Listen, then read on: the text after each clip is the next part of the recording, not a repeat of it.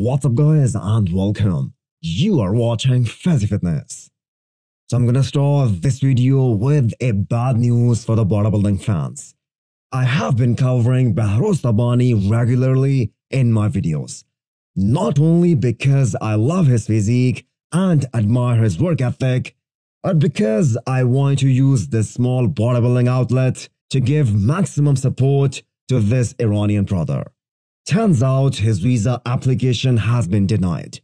This has just been confirmed by Milos, his coach. It's really heartbreaking to see what Behroz has to go through. Imagine preparing so hard for years and years to get to that dream stage for any bodybuilder.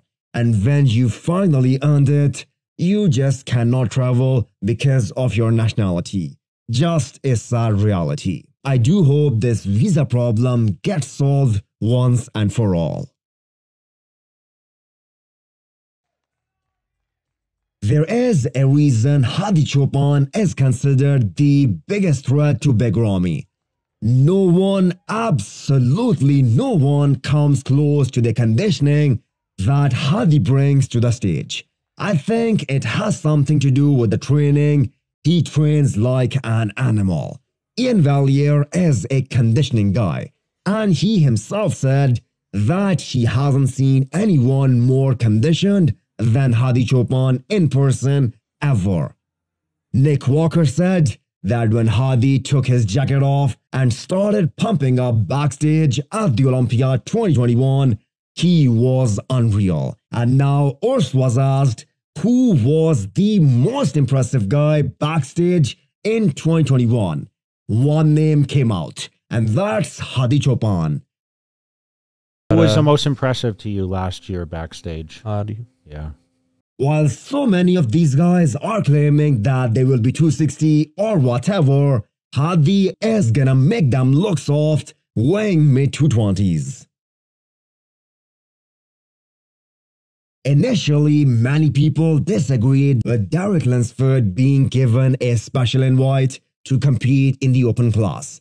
But now, as you are just a days out, people are glad that they gave it to him.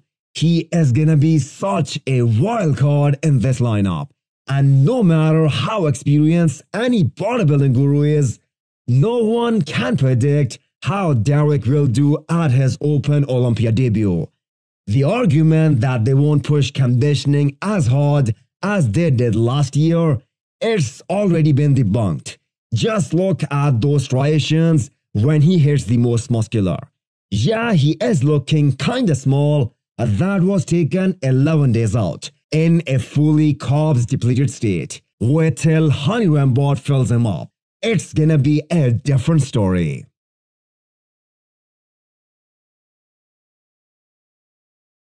Do not sleep on Iain Valliere as he won't be missing on conditioning mark, especially this year when the room for error for a guy like Iain is literally none. Why? Because he does not have the best structure, so he is gonna have to cover the ground with crazy conditioning.